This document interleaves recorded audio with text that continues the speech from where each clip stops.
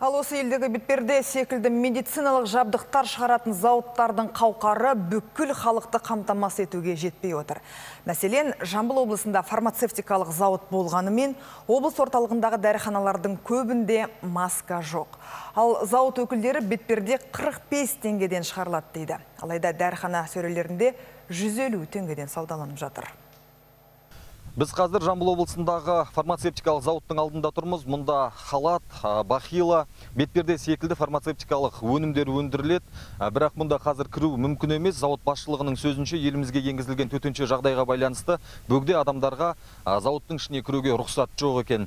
Облыстық денсаулық сақтау басқармасы басшысы бұл өндіріс ошағы тәулігіне 30 мыңнан аса бетперде шығаратынын айтады. Оның әрбірінің бірінің құны 45 теңге аптекаларға отыз мыңнан астам бетперделер берілетін болады.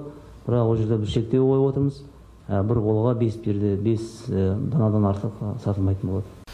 Міне бұл қазір біздің келіп тұрғанымыз төртінші дәріхана. Қазір мұнда кіріп масканың бар жоқтығын сұрайтын боламыз. Қарындас маска бар ма? Маска жоқ па? Қашан болады? А қашан болады сәлеметсіз бе сіздерде масканың болмағанына қанша уақыт болды? Шамамен? Бір айдай уақыт болды.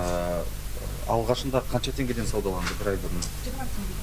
Ал шығыста маска таппай әлек болып, дәріханалардың табалдырғын тоздырып жүрген жұрттың қарасы қалың. Бірақ облыс басшысы Даниял Ахметов 15 күннен кейін 6 миллион маска жасап шығаруға дайынбыз дейді. Сондай-ақ семейде бір емес бірнеше мәрте қолданылатын маскаларды тәулігіне 100 мың данадан аса өндіру жоспарланып отыр. Нұрболат Жаңабекұлы, Динара Ерболғызы, Дәулетбай Нұрмахан, Информбюро.